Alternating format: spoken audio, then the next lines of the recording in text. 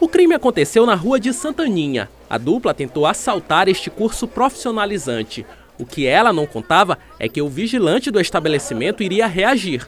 Um dos suspeitos foi baleado e morreu ainda no local. Segundo a informação, houve uma tentativa de assalto, e houve uma reação e houve uma troca de tiros, combinando com o falecimento de um dos indivíduos. A área em frente ao curso profissionalizante ficou tomada por populares. A polícia militar foi chamada para conter os ânimos. A perícia técnica realizou os procedimentos necessários na cena do crime mais de um projétil foi removido.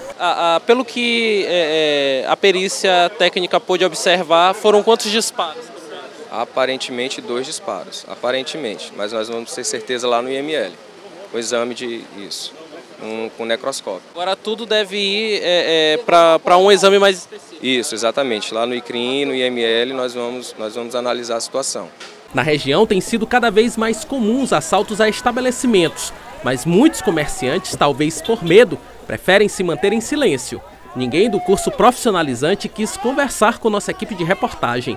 Agora a polícia trabalha na intenção de descobrir a identidade do outro suspeito envolvido na ação.